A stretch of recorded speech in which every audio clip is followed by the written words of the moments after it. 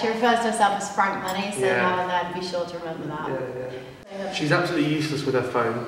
Yeah, she Um, is. Don't bother calling or texting her if you don't want a reply for the next week. You may as well. Yeah, just go to her house. Yeah, when she's drunk, she's aggressive. She's very loud. She's very getting loud bites drunk. all the time when we come into Lee's in first year with the security walking in. She even got a disciplinary through her door, and like, and it was so funny. It was like, uh, it like said um, exactly like quoted exactly what she said to the security, and it was like, "I will not be loud. Don't tell me to be quiet." it was very funny.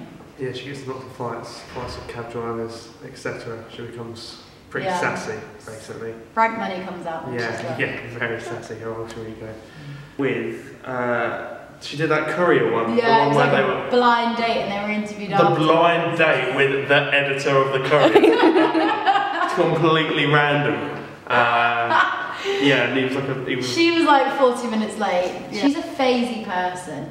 So I think you need to go through like weird phases with her and just even if you know Just it go won't last, just go with Yeah. the flow. She'll be over in about a week. yeah. Yeah. So that's all you need to know. Last bit of info.